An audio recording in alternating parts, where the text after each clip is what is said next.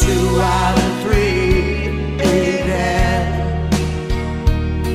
Now don't be cause two out